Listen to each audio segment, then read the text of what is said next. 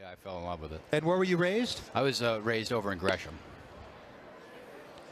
Reggie Pruitt, the hitter. Team, of course, has their own pitching coach. For the Hops, it's Mike Parrott. And you got to make sure that everybody is uh, kind of learning the same things. Being Being goes from the major leagues down through the minor leagues to make sure that uh, everybody stays on the same page.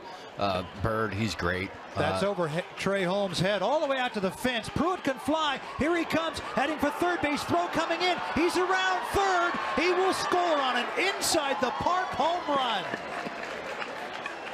Reggie Pruitt, an inside the Parker.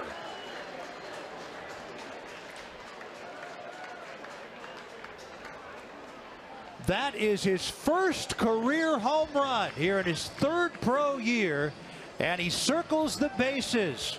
Holmes was playing him shallow, and Reggie.